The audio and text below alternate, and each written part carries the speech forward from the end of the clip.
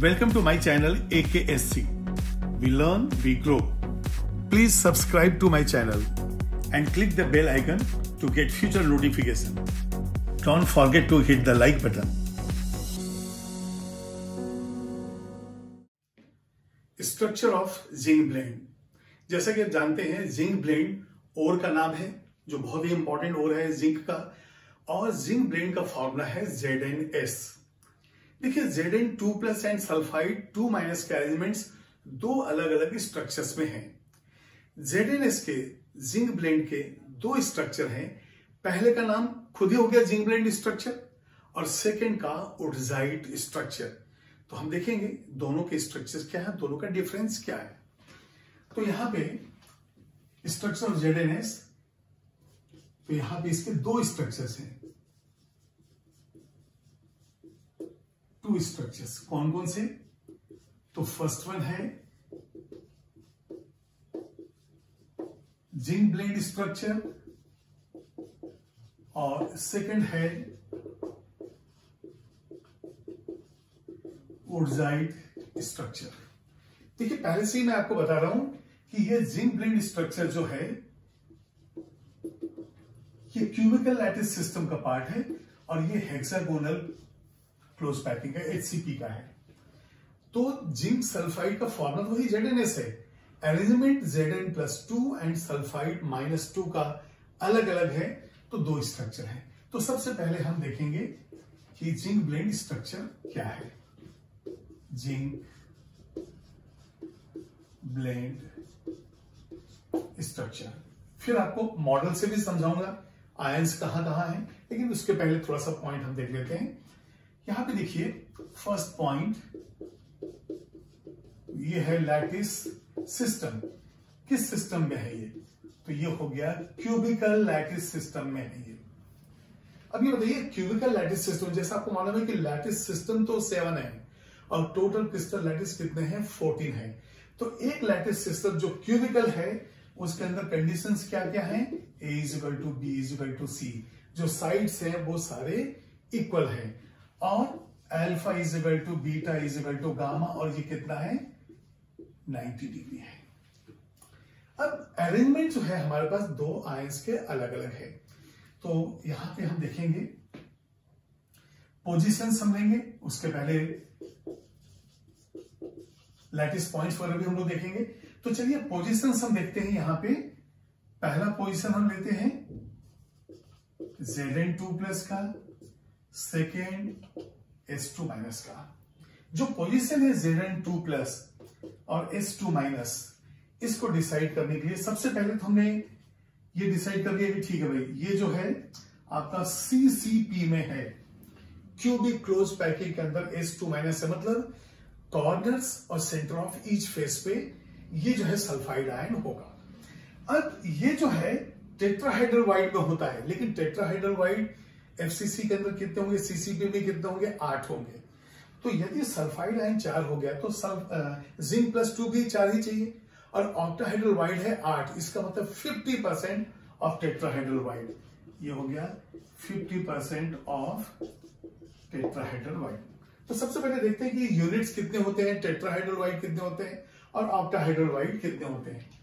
ये बताइए, किसी क्रिस्टल के अंदर यदि मान लिए यूनिट्स है हमारे पास एक्स तो नंबर ऑफ़ टेट्राहाइड्रल वाइड हो जाता है two X and octahedral void होता है एक्स ये बिल्कुल आपको याद रखना है। ठीक है? अब इसके बाद हम देखेंगे कि इनके पोजीशंस के अनुसार सल्फाइड आयन के कितने लैटिस पॉइंट्स होंगे? जेड एन टू प्लस ये पहले पोजीशन हमने लिखा है। इसके बाद देखिए? लैटिस पॉइंट्स लैटिस पॉइंट्स का मतलब होता है उस लैटिस के अंदर कहाँ कहाँ पे ये आयंस है? तो फिर से हम लेंगे जेड एन टू प्लस को ही पहले। जेड एन टू प्लस के लैटिस पॉइंट्स हो गए फोर क्यों? टेट्राहाइड्रल वाइड्स आठ हैं। तो यहाँ पे लिखेंगे since tetrahedral voids at its fifty percent कितना हो गया? फोर तो चार जगह है हमारे पास जेड एन टू प्लस इसके बाद सल्फाइड आयन सल्फाइड आयन कहाँ पे है ये? सीसीपी में है। सीसीपी का मतलब क्या हो गया? ये पूरे के पूरे जो है आठ कॉर्नर और सिक्स फेसेस पे है। तो eight corners plus six face centres तो टोटल कितने हो गए? 14 यहाँ पे जेड एन टू प्लस का लेटेस्ट पॉइंट है, चार मतलब चार जगह है। और ये सल्फाइड आयन जो है, वो टोटल 14 प्लेसेस पे है। लेटेस्ट पॉइंट हो गया 14 तो अब हम देखेंगे कि आखिर यूनिट्स हमारे हिस्से में कितना है? जो क्रिस्टल है उसमें कितना यूनिट है? तो यहाँ लिखेंगे यूनिट्स कंट्रीब्यूटेड अभी बताइए जेड एन टू प्लस जो है, वो क्यूब के अंदर ही है, क्योंकि टेट्राहाइड्रल वाइड उसी क्यूब के अंदर है। तो जेड एन प्लस टू चार हो गया। और जब हम सल्फाइड आयंस की बात करेंगे तो एट कॉर्नर्स पे कॉर्नर पे हम जानते हैं कि वन बाय एट ही कंट्रीब्यूट होता है और centre of each face half होता है। इसका मतलब हाफ़ इंटू एट कॉर्नर्स मैं यहाँ पे कॉर्नर्स भी लिख दूँगा।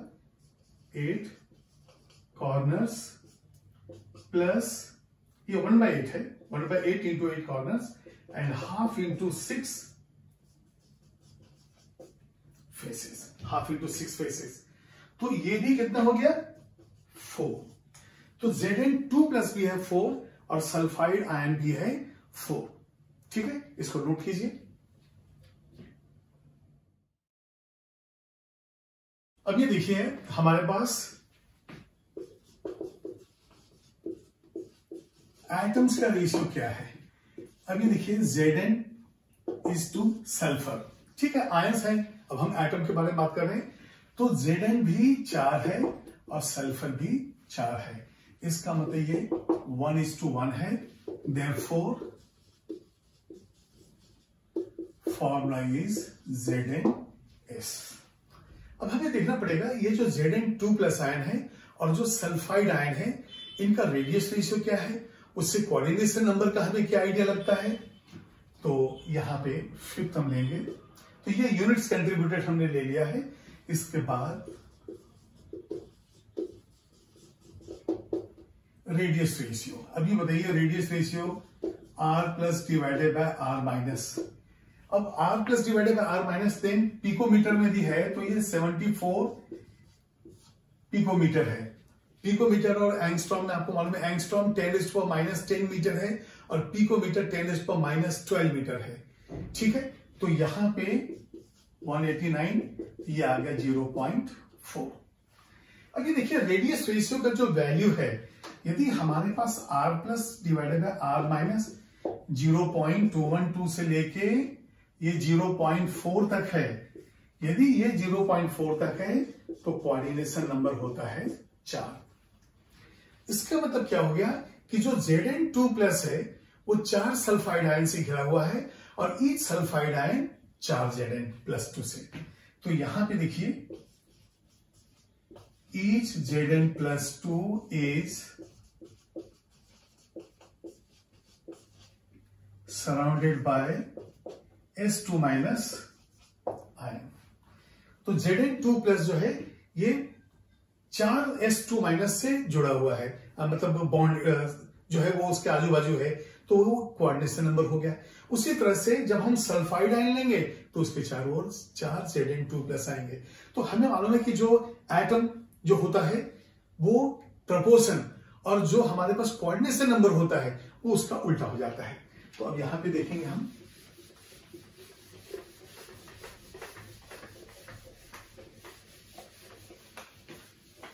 जेड एन टू प्लस का हम देखेंगे।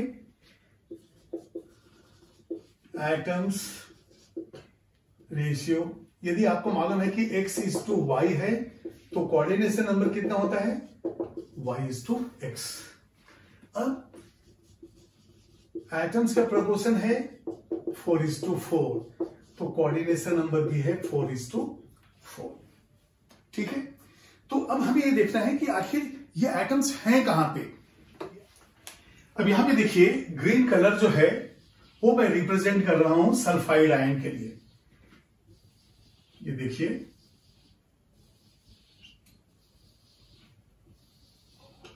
तो यहाँ पे मैं लिख रहा हूँ, ये जो है सल्फाइड आयन और देखिए सीसीपी है तो ये सेंटर ऑफ़ ईच फेस भी हो जाएगा।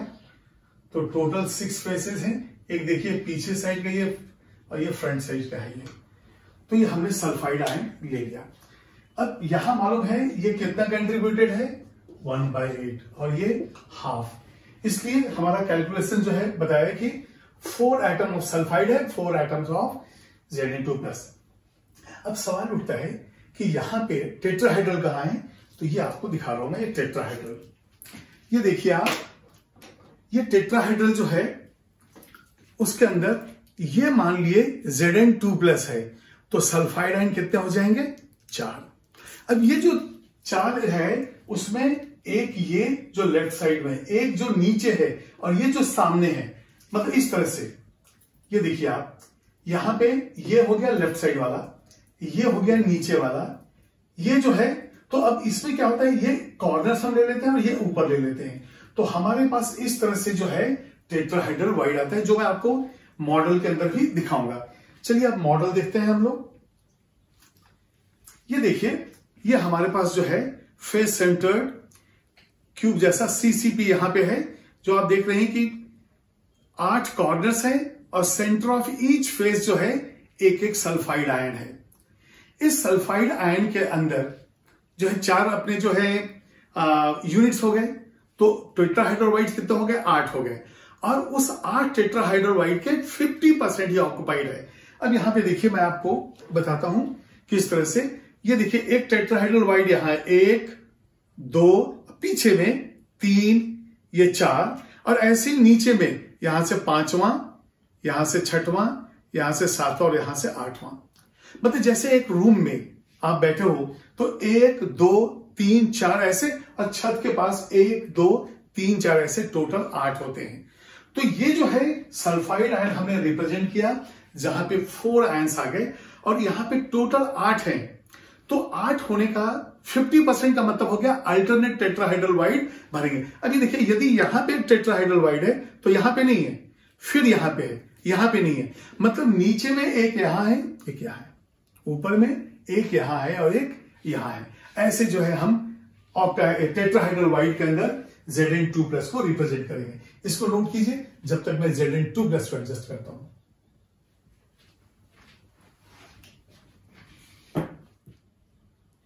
ये देखिए, हमारा जिंक ब्लेंड स्ट्रक्चर है।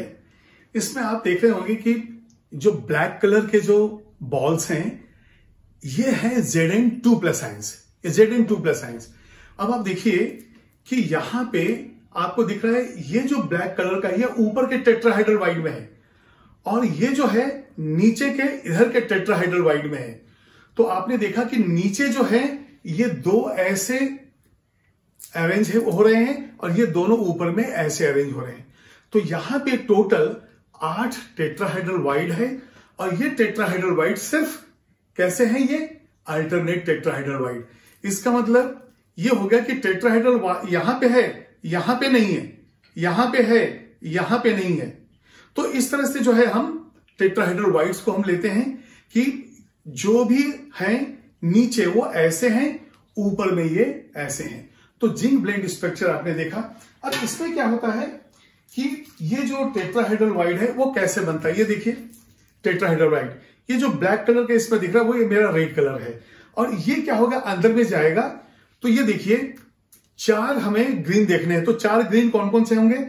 एक, दो, एक जो नीचे है तीन, और ये चौथा है चार।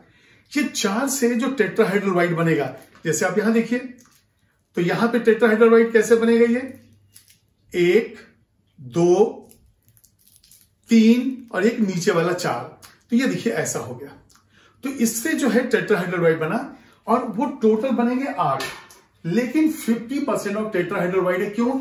जेड एन टू प्लस इतना बड़ा है कि वो दूसरा जगह भी घेर लेता है और वहाँ पे सिर्फ़ चार हो जाता है। तो यहाँ पे कोऑर्डिनेशन नंबर ऐसा देखा आपने एटम का नंबर है फोर इज़ टू फोर है। कोऑर्डिनेशन नंबर हमने देखा। अब इसके बाद हम देखेंगे कि मास ऑफ़ तो इसका मतलब यहाँ पे कैसे यूनिट होगा? यदि एक यहाँ पे है तो इसके इधर एक यहाँ होगा। यदि नीचे साइड में एक यहाँ है तो एक इधर पे होगा। ऐसे में दो, ऐसे में दो।